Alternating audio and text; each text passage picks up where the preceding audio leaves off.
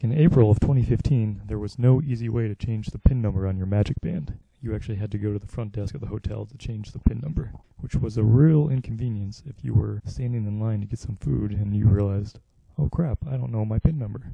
Luckily, Disney has heard our complaints and you can now change your PIN number from the My Dis- Disney Experience website. So if you go to My Disney Experience, go to My Profile.